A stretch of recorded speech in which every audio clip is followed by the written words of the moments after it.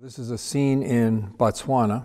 This I'm calling a peaceable kingdom because, in a way, although I guess you you can't say that Africa is certainly, from a human point of view, Africa is not a peaceable kingdom.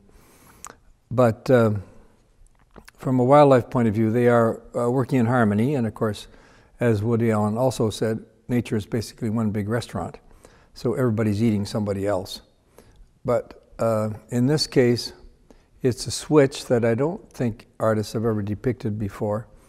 The prey are following the predator. Uh, these are uh, an antelope you only find in southern Africa called a lechwe. Uh, they're, they're, kind of a, a bit of a, a, wetland antelope, and they are uh, following that lioness to keep her in sight. Uh, I probably compressed the, the distance because I didn't want the painting to be any wider than it was and I didn't want the animals to be any smaller than they were. But uh, they're within a safe enough distance. If she wheeled around, they would be out of here. Or if she dashed suddenly to hide in the grass, they'd be out of here. But prey really want to keep the predator in sight. And the predators always give off, I guess they don't know how to be actors or actresses, they always give off uh, a clue by their body language if they're actually hunting. And she's just really tired at the end of the day, and she's just trudging along. And they're slowly and carefully walking after her. It was an interesting painting to paint. It's a very large, I think it's about five feet wide.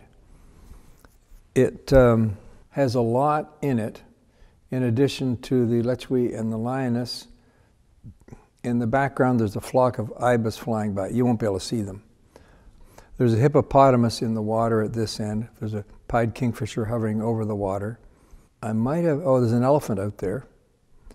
Um, and of course, in the foreground is a lot of what you see in Africa.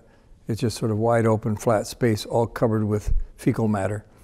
There's probably elephant poo and uh, maybe lechwe and all kinds of other things scattered there. And that was, uh, uh, as often happens, the hardest part to paint. To have something lying flat like that, but yet look scuffed up, and yet look going in perspective, getting smaller and smaller. And it's a pretty large percentage.